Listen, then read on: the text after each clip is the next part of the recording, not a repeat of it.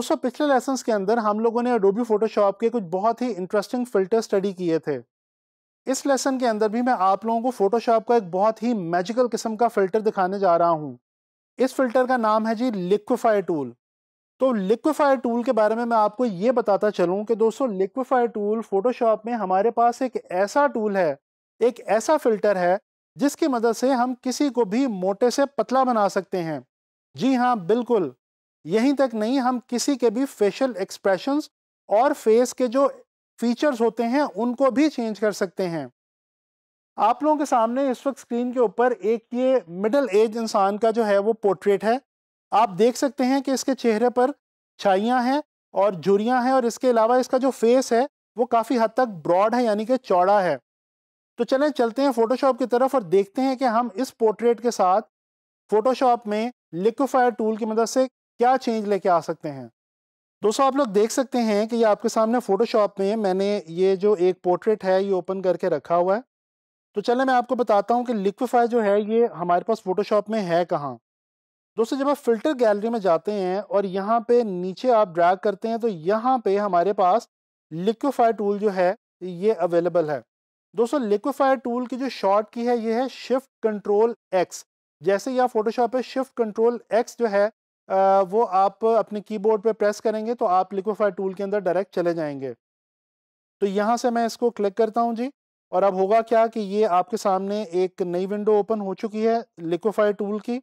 अच्छा थोड़ा सा मैं आपको समझा देता हूँ कि इसमें हमारे पास क्या क्या चीज़ें अवेलेबल हैं और उनको हम किस तरह से इस्तेमाल किया करते हैं।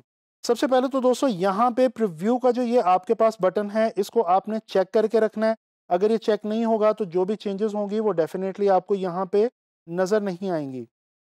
अच्छा जी, स्टार्ट करते हैं। यहाँ पे ये लेफ़्ट के ऊपर हमारे पास कुछ टूल्स दिए गए हैं। ये एक टूल बार हमें नज़र आ रही है। सबसे ऊपर हमारे पास एक बहुत ही मज़े का टूल है जी, फॉरवर्ड वैप टूल, जिसकी शॉर्ट की है डब्ल्यू तो सो ये फॉरवर्ड वैप टूल करता क्या है? ये बेसिकली अगर मैं यहाँ से आके ये देखें, स्किन को, ये जो हमारे पास कानों के नीचे इस पोर्ट्रेट के अंदर, इस फेस के अंदर ये जो स्किन है, इसको मैं अगर हल्के हल्के धीरे धीरे अंदर की तरफ़ लेके आऊँ तो ये देखें, ये बिल्कुल जो उसके फेस कट्स हैं, फेस के वो चेंज होते जा रहे हैं। इसी तरह से आप जहाँ पे भी जाके इसकी मदद से क्लिक करेंगे और आप ड्रैग करते जाएँगे लेफ़्ट पे या अंदर की तरफ़ तो वो जो जहाँ पे भी आप ड्रैग करेंगे वो जो चीज़ है, वो अंदर की तरफ़ आनी शुरू हो जाएगी। इसी तरह से यहाँ पे अगर आपको समझाने के लिए मैं करके दिखाता हूँ, ये देखें, अगर ईयर को मैं मज़ीद अंदर करना चाहूँ तो ये भी कर सकता हूँ, लेकिन ये एक्चुअली मुझे यहाँ पे इस वक्त नहीं करना। यहाँ पे हम लोग ब्रश टूल जिस तरह से यूज़ करते हैं, उसी तरह से हम ब्रश को बड़ा छोटा कर सकते हैं, वो मैं आपको पहले ही बता चुका हूँ कि हम किस तरह से बड़ा छोटा करते हैं। ये देखें, बालों को भी अगर हम अंदर की तरफ़ लेके आना चाहें तो हम यहाँ पे ला सकते हैं। ये देखें। अच्छा जी, अब थोड़ा सा मैं आपको ये राइट पे हमारे पास क्या चीज़ें अवेलेबल हैं, इनके लिए भी थोड़ा सा मैं आपको गाइड करता चलूँ। दोस्तों, यहाँ पे देखें, हमारे पास सबसे पहले अवेलेबल है जी साइज़ ये देखें, ये अगर हम साइज़ बड़ा करना चाहें, छोटा करना चाहें तो वो हम यहाँ से आके भी साइज़ को बड़ा छोटा कर सकते हैं।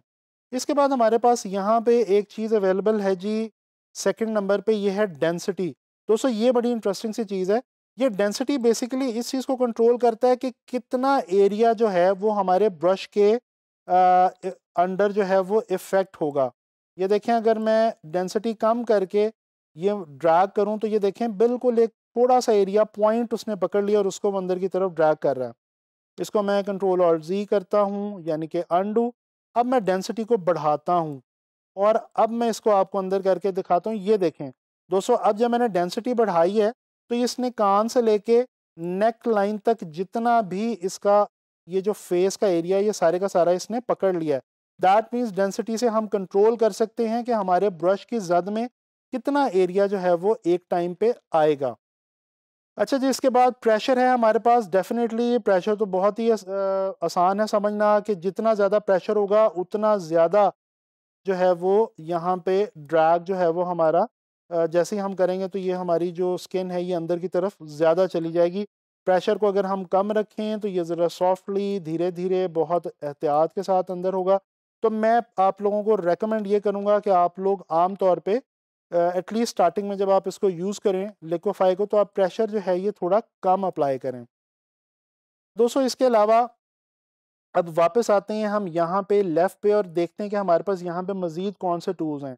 ये हमारे पास एक टूल है जी रिकन्स्ट्रक्ट टूल अच्छा ये रिकन्स्ट्रक्ट टूल क्या करता है?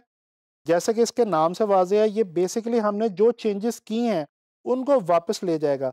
यानी कि अगर रिकन्स्ट्रक्ट टूल की मदद से यहाँ पे, ये देखें मैं अगर फेरना शुरू करूँ तो ये देखें जो भी चेंजेस मैंने की थी बालों में या ये कान के नीचे, वो सारी की सारी वापस जानी शुरू हो गई हैं।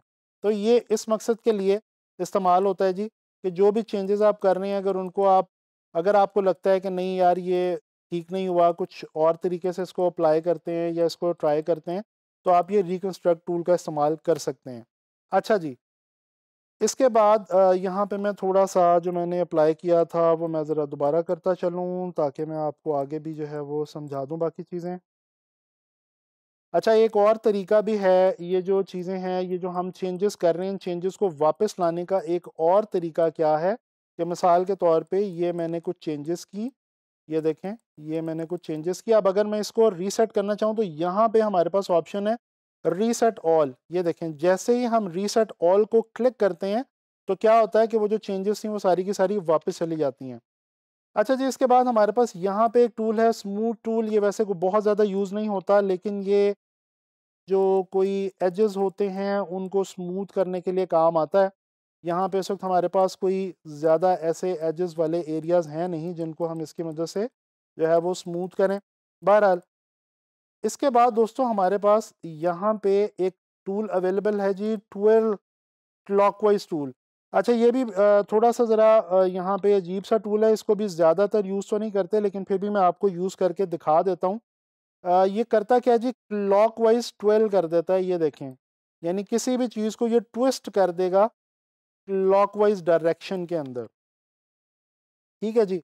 अच्छा इसके बाद हमारे पास एक और यहाँ पे टूल अवेलेबल है पकड़ टूल ये देखें, पकड़ टूल क्या कहता है दोस्तों? हम किसी भी एरिया पे रख के अगर ब्रश की मदद से पकड़ टूल अप्लाई करेंगे तो ये उस एरिया को अंदर की तरफ़ धंसा देगा। जैसे ये आँखों के ऊपर मैंने आपको अप्लाई करके दिखाया है, ये नोज़ पे भी मैं आपको अप्लाई करके दिखाता हूँ। अच्छा ये टूल वहाँ पे बहुत काम आता है कि जिस मिसाल के तौर पे अगर ये नोज़ है, ये मुझे हैवी लगे और मैं इसको छोटा करना चाहता हूँ सेंटर से तो ये देखें, मैं इसको, ये देखें, इसको पकड़ टूल की मदद से थोड़ा सा पॉइंटेड बना सकता हूँ।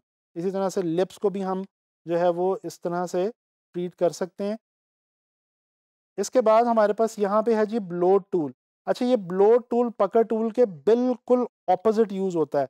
यानी कि अगर आपने किसी चीज़ को मैग्नीफाई करना है या फैलाना है, जिस तरह से ये मैंने नोज़ को पहले स्मार्ट किया था, अगर मैं इसको मोटा करना चाहूँ तो ये देखें, ये हम काम जो है ये ब्लो टूल की मदद से कर सकते हैं। ब्लो टूल से बड़े मज़े के आप इफेक्ट्स भी क्रिएट कर सकते हैं, जिस तरह अगर ये मैं आँख को या किसी भी एक एरिया को बड़ा करता हूँ और मैं यहाँ पे मैग्नीफाइंग ग्लास का इमेज ला के बाद में रख देता हूँ तो वो लगेगा जैसे इस एरिया के ऊपर मैग्नीफाई किया हुआ है। इसके बाद हमारे पास इसी में है जी पुश लेफ़्ट पुश लेफ़्ट क्या करता है जी? अगर हम पुश लेफ़्ट की मदद से ऊपर की तरफ़ प्रेस करें तो ये लेफ़्ट की तरफ़ लेके जाता है और अगर हम नीचे की तरफ़ प्रेस करें तो ये राइट की तरफ़ किसी भी चीज़ को ड्रैग करता है। लेकिन आपने ये देखा कि ये बहुत ही एहतियात से इस्तेमाल करने वाला टूल है। अच्छा अब हमारे पास यहाँ पे एक टूल आता है जी फ्रीज टूल इसको फ्रीज मास टूल इसको समझाने के लिए मैं इसको थोड़ा सा जूम करता हूँ और मैं करता क्या हूँ? दोस्तों, मिसाल के तौर पे मुझे ये वाला जो एरिया है, कान से नीचे और टी शर्ट कॉलर से ऊपर, सिर्फ़ इस एरिया को मुझे चेंज करना है और मैं चाहता हूँ कि कान पे या टी शर्ट के कॉलर पे कोई चेंजिंग ना हो तो मैं क्या करूँगा जी? मैं यहाँ पे ये वाला जो एरिया है टी शर्ट वाला और कान वाला, इस पे आके ये मास्क अप्लाई कर दूँगा। इस मास्क का फ़ायदा क्या होगा? अब जैसे यहाँ से आके, ये देखें, यहाँ से मैं पिक करता हूँ फॉरवर्ड वेब टूल और यहाँ से आके अगर मैं इसको फॉरवर्ड वेब टूल की मदद से अंदर की तरफ़ ड्रैग करता हूँ तो ये आप एक चीज़ देखें, जहाँ पे मास्क अप्लाई किया हुआ है, वहाँ पे कोई फ़र्क नहीं पड़। रहा चाहे मैं ब्रश को जितना मर्ज़ी बड़ा कर लूँ, ये देखें, वो जो अंदर की तरफ़ स्किन जा रही है, वो सिर्फ़ उस एरिया में जा रही है जिसको हमने मास्क नहीं लगाया हुआ। ठीक है जी। अच्छा अगर इसी मास्क को हम ख़त्म करना चाहें तो ये नीचे हमारे पास एक टूल अवेलेबल है जी थॉ मास्क टूल इसकी वजह से हम यहाँ पे अगर ब्रश फेरेंगे तो वो जो मास्क हमने लगाया होगा, वो वापस चला जाएगा। इसी तरह से हमारे पास यहाँ पे जूम टूल है, जिसकी वजह से हम जूम इन कर सकते हैं जूम आउट कर सकते हैं। हैंड टूल अवेलेबल है, जिसकी वजह से हम पकड़ के अपने विजुअल को जो है वो ड्रैग कर सकते हैं। ठीक है जी। तो ये दोस्तों आप लोगों ने देखी ऑप्शंस इसके अलावा एक आखिरी मज़े की ऑप्शन मैं आपको यहाँ पे बताता चलूँ, जो इसमें हमारे पास मौजूद है जी फेस अवेयर लिक्विफाई दोस्तों, इसमें आइस के ऊपर जाके अगर ये जो सेंटर वाला चेन है, इस पर मैं क्लिक करता हूँ, और अब मैं अगर आइस का साइज़ बड़ा करता हूँ तो ये देखें, दोनों आइस का साइज़ जो है वो बड़ा हो रहा है। अगर आप इस वाले साइन को क्लिक नहीं करेंगे तो ये लेफ़्ट और राइट पे काम करेगा। इसी तरह से आइस की हाइट आप कम ज़्यादा कर सकते हैं इसमें मैं थोड़ा सा आइस का साइज़ बढ़ा देता हूँ क्योंकि ये जो आ, हमारे पास पोर्ट्रेट है इसमें आइस का साइज़ पहले बहुत छोटा है।